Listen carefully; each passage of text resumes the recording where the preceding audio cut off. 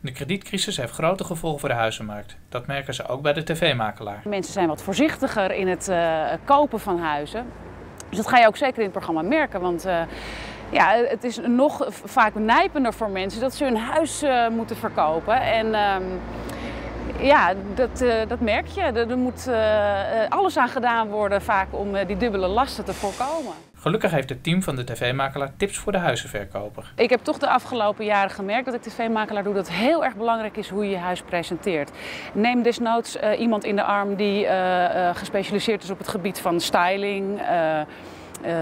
Ver, echt een speciale verkoopstylist. Nou, er zijn zeker een aantal aspecten die je in de gaten moet houden voor het verkoop van je huis. Zo moet je gewoon altijd zorgen dat je huis er picobello uitziet. Iemand moet met een koffertje binnen kunnen komen. Uh, je hebt twee dingen die altijd lastig zijn. Dat smaakgevoeligheid en gewoon de manier hoe jij in je huis hebt geleefd. En die twee dingen moet je eigenlijk proberen zo ja, veel mogelijk af te zwakken.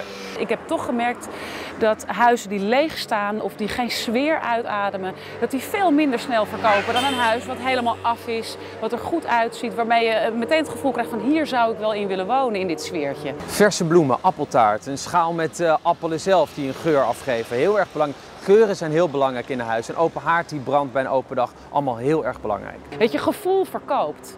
En um, bak eens een appeltaart.